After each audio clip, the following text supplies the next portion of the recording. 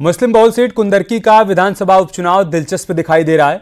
एक तरफ़ बीजेपी ने ठाकुर उम्मीदवार पर दांव खेला है तो वहीं एसपी और बीएसपी ने मुस्लिम उम्मीदवार पर दांव चला है। चंद्रशेखर और ओवैसी ने भी अपना उम्मीदवार उतारकर टक्कर को कांटे का बना दिया है। क्या है कुंदरकी का सियासी समीकरण? एक रिपोर्ट के ज़रिए आपको दिखाते हैं।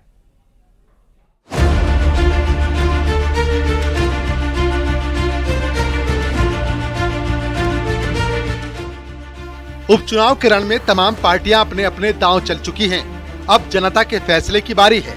चुनावी समीकरणों और सियासी दावों की चर्चा के बीच आज बात करेंगे कुंदर की विधानसभा सीट की। मुरादाबाद की कुंदर की विधानसभा में 2022 में समाजवादी पार्टी के जियाउर रहमान बर्क ने बाजी मारी थी। 2024 लोकसभा चुनाव में बर्क सांसद बने तो अब इस सीट पर फिर चुनाव होने जा रहा है।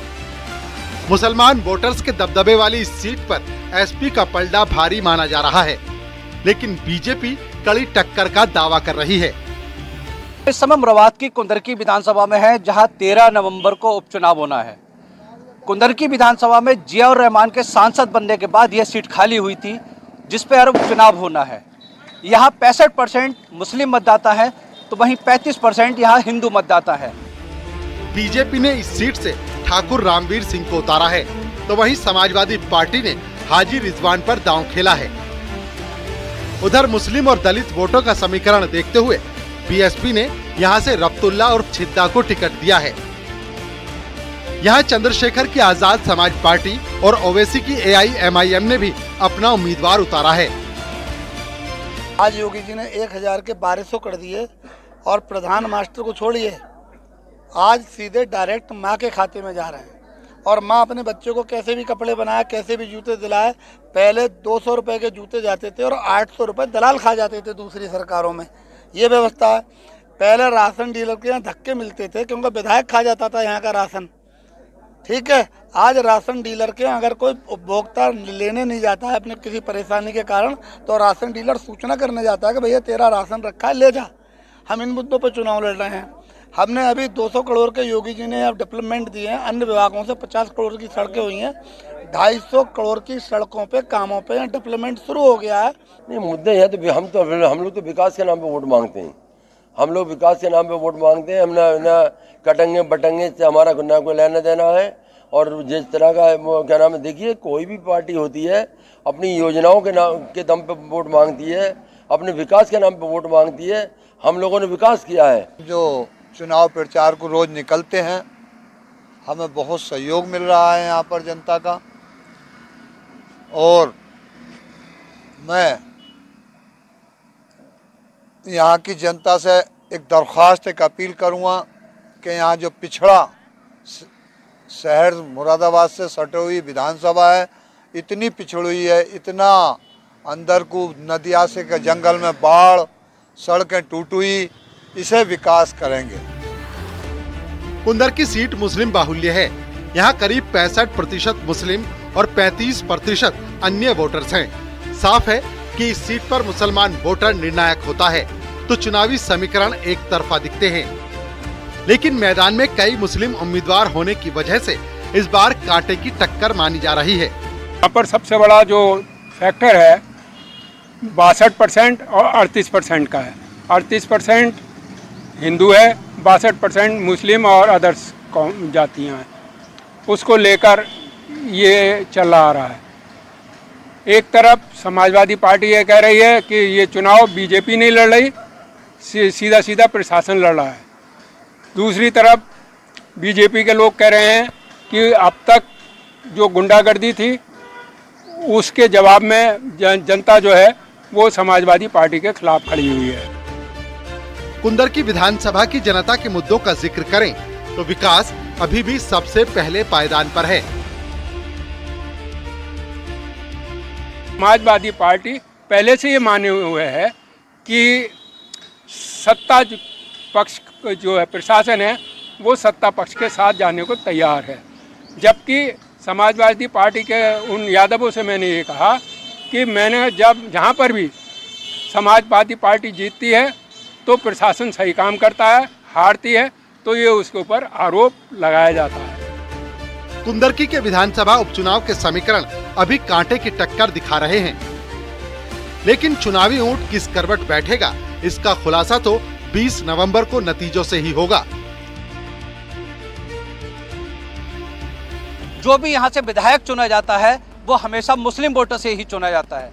यहाँ के स्थानीय मुद्दे क्या हैं यहाँ जनता को कैसा विधायक चाहिए? यहाँ क्या क्या समस्याएँ हैं? सीधे यहाँ जनता से बात करेंगे और सीधे जनता की राय जानेंगे कि क्या यहाँ के स्थानीय मुद्दे हैं कैसा उनको यहाँ विधायक चाहिए। इसके अलावा कुंदरकी की जनता के मन में क्या है? एक रिपोर्ट के ज़रिए आपको वो भी दिखाते हैं। यहाँ की जो गणित है हमेशा मुस्लिम वोटरों ने ही यहाँ से अपना विधायक चुना है। हमारे साथ कुछ यहाँ जनता मौजूद है। हम सीधे यहाँ की जनता से जानेंगे कि किस तरह के यहाँ चुनावी मुद्दे रहे हैं कैसा उनको यहाँ का विधायक चाहिए और क्या यहाँ जमीनी स्तर पर जो है वो यहाँ काम होने हैं और क्या यहाँ की समस्या है। जी ये बताइए क्या नाम है आपका? मेरा नाम रिजवान अली। रिजवान जी ये बताइए यहाँ उपचुनाव होना है क्या क्या यहाँ की कुंदर की विधानसभा की दिक्कतें हैं? यहाँ का तो दिक्कत तो बहुत लंबी चौड़ी दिक्कत थी। यहाँ पे आज तक मुस्लिमी सांसद और एमएलए रहे हैं आज तक इतिहास में। लेकिन चुनाव में जीत के तो चले जाते हैं लेकिन वापसी नहीं देख पाते किसी को आने के बाद। बताओ ये कुंदर की विधानसभा में दिक्कतें क्या क्या क्या समस्याएँ हैं यहाँ पे? बहुत समस्या कर रही हैं। क्या क्या और? हम्म, क्या क्या समस्या है? जो जीत के चला जाता पलटते ही नहीं बटियो अच्छा पलटता नहीं कभी? ना देखते ही नहीं ना डूब रहा है मर रहा है जी रहा है कौन क्या है? अच्छा। हाँ। जी यहाँ आइए। क्या नाम है आपका? मेरा नाम कमल सिंह प्रजापति। कमल सिंह ये बताओ आप एक युवा हो। युवा होने के नाते यहाँ क्या क्या समस्याएँ हैं यहाँ की? यहाँ पे सभी समस्याएँ हैं। क्या क्या सारे साइड चले जाओ सारे जंगल में पानी भरा पड़ा है।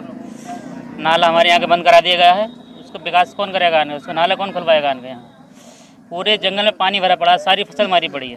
कैसा विधायक चाहिए? हमें विधायक यहीं की जनता ने चुन लिया है अब की बार हिंदू हो या मुस्लिम अब की बार नज़दीकी विधायक हमें बनाना है।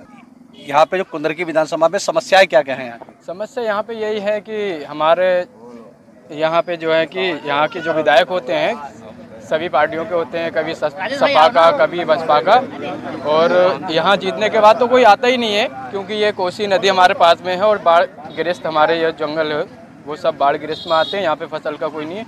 ना ही अभी तक कोई विधायक एमपी आके यहाँ देखता है कि बाढ़ है आके देखा जाए पब्लिक के जो भी समस्या उसको सुना जाए ऐसा कोई यहाँ पे मंत्री विधायक कोई नहीं आता। विधानसभा मुस्लिम बाहुल्य सीट है। जी। यहाँ सबसे पहले तो ये बताइए यहाँ समस्याएँ क्या क्या है यहाँ की? समस्याएँ। समस्याएँ यही है सर। काम यहाँ पर हमारे यहाँ कोई भी विधायक बन के जाता है और फिर पलट के नहीं आता। काम नहीं होता। काम नहीं होता। हमें प्रत्याशी वो चाहिए जो हमारे इलाके में यहाँ एरिया में काम मतलब जो विकास कराए। विकास कराए। क्या नाम है आपका? शिवरतन राजपूत। हाँ, शिवरतन जी कैसा विधायक चाहिए आपको? करीबी विधायक चाहिए। करीब विधायक है क्या क्या समस्या है? आप एक युवा हो युवा होने के नाते क्या क्या देखते हैं? समस्या तो बहुत है कारोबार सब बंद हो गए। अच्छा। और बाकी जब बाढ़ में सब डूब गया कोई पैसा नहीं। कैसा होना चाहिए आप करीबी होगा तो हमारा गाँव देखेगा। करीबी होगा? विधानसभा उपचुनाव प्रचार में बीजेपी ने पूरी ताकत झोंक दी है। सीएम योगी पश्चिमी उत्तर प्रदेश से प्रचार शुरू करेंगे। सीएम योगी तीन दिनों में सभी नौ विधानसभा सीटों पर जनसभा करेंगे। आठ, नौ और ग्यारह नवंबर को सीएम योगी की जनसभाएँ होनी है। उधर डिप्टी सीएम केशव प्रसाद मौर्य और ब्रजेश पाठक भी ताबड़तोड़ जनसभाएँ करेंगे। आठ नवंबर को गाजियाबाद, कुंदरकी और मीरापुर में सीएम योगी की जनसभा होगी। नौ नवंबर को सीसामऊ करहल और खैर में और ग्यारह नवंबर को कटेहरी, फूलपुर और मझुआ में सीएम योगी की जनसभा प्रस्तावित। है उपचुनाव में भारतीय जनता पार्टी चुनावी प्रचार अभियान में पूरी ताकत झोंकने जा रही है। दरअसल खुद मुख्यमंत्री योगी आदित्यनाथ भारतीय जनता पार्टी के उपचुनाव के चुनावी प्रचार अभियान की कमान संभाले हुए हैं। मुख्यमंत्री योगी आदित्यनाथ की तीन दिनों में नौ जनसभाएँ उत्तर प्रदेश की उपचुनाव की सभी विधानसभा सीटों पर होंगी। ताबड़तोड़ जनसभाएँ मुख्यमंत्री योगी आदित्यनाथ की 8 नवंबर से शुरू हो जाएँगी। 8, 9 और 11 नवंबर को मुख्यमंत्री योगी आदित्यनाथ की उपचुनाव की सीटों पर जनसभाएँ हैं। मुख्यमंत्री योगी आदित्यनाथ पश्चिम यूपी से अपने चुनावी प्रचार अभियान की शुरुआत कर रहे हैं। उसमें मीरापुर, कुंदरकी और खैर में मुख्यमंत्री योगी आदित्यनाथ की जनसभाएँ होंगी। यही नहीं, सीएम योगी समेत दोनों deputy CM, Bharatiya Janata party के प्रदेश के अध्यक्ष भूपेन्द्र चौधरी और इसके अलावा महामंत्री संगठन धर्मपाल सभी ताबड़तोड़ जनसभाएँ करने जा रहे हैं। डिप्टी सीएम केशव प्रसाद मौर्य ने विधानसभा उपचुनाव को लेकर समाजवादी पार्टी पर हमला बोला। केशव प्रसाद मौर्य ने कहा कि समाजवादी पार्टी उपचुनाव में बुरी तरीके से हार रही है। उन्होंने पीडीए को फर्जी बताया। आज योगी कैबिनेट की बैठक है। डिप्टी सीएम केशव प्रसाद मौर्य जी हमारे साथ में हैं। सर ये अखिलेश यादव जिस तरीके से बयान दे रहे हैं इन्होंने सीधे तौर पर कहा कि मठाधीश बांटने का काम कर रहे हैं। बौखलाहट है उनकी और समाजवादी पार्टी उपचुनाव में बुरी तरीके से हार रही है। उस बौखलाहट के कारण। वह सब मिल करके हरियाणा में भाजपा को हराना चाहते थे लेकिन हरियाणा में तीसरी बार भाजपा सरकार बन गई। तो भाजपा की सरकार 2027 में तीसरी बार भी बनेगी उपचुनाव से उसकी शुरुआत होगी। सर ये पीडीए की जो बात कर रहे हैं लगातार पीडीए पीडीए पूरी तरह से फर्जी है श्री अखिलेश यादव जी का। पीडीए मतलब परिवार डेवलपमेंट एजेंसी के अलावा कुछ नहीं है और पीडीए के नाम पे जितना धोखा देना था उन्होंने लोकसभा चुनाव 2024 में दे लिया है। अब उनका फर्जी पीडीए नहीं टिकने वाला नहीं चलने वाला। बिल्कुल तो उनका फर्जी पीडीए नहीं चलने वाला नहीं टिकने वाला डिप्टी सीएम केशव प्रसाद मौर्य का सीधे तौर पर कहना है। कैमरामैन उपेन्द्र के साथ संकेत मिश्रा न्यूज़ एटीन लखनऊ। उधर डिप्टी सीएम ब्रजेश पाठक ने भी दावा किया कि इस बार के उपचुनाव में विपक्ष का सूपड़ा साफ़ हो जाएगा। डिप्टी सीएम ब्रजेश पाठक जी हमारे साथ में हैं। सर, आज कैबिनेट की बैठक है और अखिलेश यादव लगातार कह रहे हैं कि मठाधीश बांटने का काम कर रहे हैं। समाजवादी पार्टी हमेशा अराजकता, गुंडे की बात करती है। इनके ही राज्य में गुंडे पलते हैं। भारतीय जनता पार्टी की सरकार सुचिता पारदर्शिता के साथ सबका साथ सबका विकास सबके विश्वास के आधार पर काम कर रही है और उत्तर प्रदेश में कानून का राज और बेहतर हुआ है। सर अंतिम सवाल है। उपचुनाव को लेकर आप लोगों की रैली दोनों डिप्टी सीएम की रैलियाँ मुख्यमंत्री योगी आदित्यनाथ की रैलियाँ भी शुरू हो रही है। किस तरह से? हम लोग चुनाव मैदान में हैं नौ की नौ सीटें जीतेंगे। हमारे साथ में डिप्टी सीएम ब्रजेश पाठक जी थे। इनका सीधे तौर पर कहना है कि उत्तर प्रदेश में उपचुनाव की विधानसभा की नौ में नौ सीटें भारतीय जनता पार्टी जीतेगी। कैमरामैन उपेंद्र के साथ Sanket Mishra news eighteen Lucknow.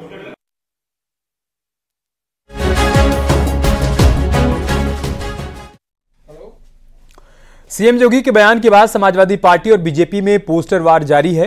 अब लखनऊ में समाजवादी पार्टी कार्यालय के बाहर अखिलेश यादव के पोस्टर लगाए गए हैं। पोस्टर पर लिखा है 2024 का जननायक 2027 का महानायक। एसपी नेता जितेंद्र प्रताप सिंह ने ये पोस्टर लगवाया है। उत्तर प्रदेश में होने वाले उपचुनाव के बयार में समाजवादी पार्टी कार्यालय के सामने रोज़ाना नई पोस्टर, नई होर्डिंग लगती हैं। मुख्यमंत्री योगी आदित्यनाथ के बयान के बाद लगातार समाजवादी पार्टी के कार्यालय के सामने विभिन्न तरह के पोस्टर दिखाई देते हैं। एक नया पोस्टर फिर से लगा है समाजवादी पार्टी कार्यालय के ठीक सामने, जिसमें अखिलेश यादव को 2024 का जननायक यानी जो लोकसभा चुनाव का रिज़ल्ट आया है, उसको देखते हुए उनको जननायक बताया गया है और 2027 का महानायक फिर से बताया गया है। ये होर्डिंग यूथ ब्रिगेड के नेता की तरफ़ से लगाई गई है। समाजवादी पार्टी कार्यालय के सामने सुरेंद्र प्रताप सिंह ने ये होर्डिंग लगवाई है। साफ़ तौर से इससे पहले 27 की सत्ताधीश का पोस्टर भी लगाया गया था। साथ में पीडीए न कटेगा, न बटेगा, उस तरह के पोस्टर लगाए गए थे। तो मान के चलिए कि 13 तारीख को 13 नवंबर को उपचुनाव के जब मतदान होगा, उससे पहले दोनों तरफ़ से पोस्टर वार अपने चरम पर है। और इस बीच यूपी में सीएम योगी के बटेंगे तो कटेंगे वाले नारे पर सियासत तेज हो गई है। सरकार पर विपक्ष के हमलावर होने के बीच डिप्टी सीएम केशव प्रसाद मौर्य ने अखिलेश यादव पर बड़ा हमला बोला। केशव प्रसाद मौर्य ने कहा कि जब अखिलेश सरकार चलाते थे, तब चारों तरफ़ अराजकता थी, अत्याचार था, दंगे थे। आज जब उनके द्वारा कोई भी बात कही जाती है तो एक ही बात कहता हूँ, सौ चूहे खाकर बिल्ली हज को चली अखिलेश यादव जी के इस समय जो बयान आते रहते हैं, उन बयान का एक ही जवाब है। इसलिए अखिलेश यादव जी, यानी समाजवादी पार्टी के मुखिया, उत्तर प्रदेश के पूर्व मुख्यमंत्री, जब उत्तर प्रदेश की बागडोर संभाले थे, सरकार चलाते थे, तब चारों तरफ़ अराजकता थी, अत्याचार था, गुंडागर्दी थी, दंगे थे, जमीनों पर कब्जे थे, खनन माफिया से लेकर, शराब माफिया से लेकर, नकल माफिया से लेकर, भर्ती माफिया तक सब सक्रिय थे। और आज जब उनके द्वारा कोई भी बात कही जाती है तो मैं यही कहता हूँ कि जैसे सौ सौ चूहे खा के बिल्ली हज को चली। उधर सीएम योगी के बटेंगे तो कटेंगे वाले नारे पर कांग्रेस ने भी हमला बोला। अमेठी से कांग्रेस सांसद किशोरीलाल शर्मा ने बीजेपी पर निशाना साधा। कहा कि बीजेपी गंगा जमुनी तहजीब खत्म करने की कोशिश कर रही है लेकिन वो अपने प्रयास में कामयाब नहीं हो पाई। ऐसी हरकतें करते हैं। मतलब पूरी बीजेपी है काली योगी जी नहीं। पूरे बीजेपी का यही है कि समाज को बांटो और राज करो, क्योंकि ये गंगा जमनी तहजीब जो है, ये हमारे यूपी की पहचान है। इसको नष्ट करने की कोशिश बीजेपी कर रही है, और ये होगी नहीं कभी, क्योंकि यहाँ पे जो समाज है, नीचे तक उनकी आपसी साँझ इतनी है कि वो इनके इतने करने से टूटने वाली नहीं है। उधर समाजवादी पार्टी के नारे जुड़ेंगे तो जीतेंगे पर केंद्रीय मंत्री गिरिराज सिंह ने बड़ा हमला बोला। अखिलेश यादव पर बोलते हुए गिरिराज सिंह ने कहा कि अखिलेश यादव का डीएनए तो वही है ना, जिनके पिताजी राम भक्तों पर गोली चलवा चुके हैं। इनका डीएनए तो यही है, जोड़ोगे तो जीतोगे। तमाम तरह के ज़िंदगी भर पोस्टर जारी किए हैं। अखिलेश यादव के पिताजी ने क्या किया था? उसी डीएनए के अखिलेश यादव हैं, जिन्होंने राम भक्तों पे गोली चलाई थी। इनका डीएनए तो वही है। उनको जोड़ोगे तो जीतोगे। उनका यही है।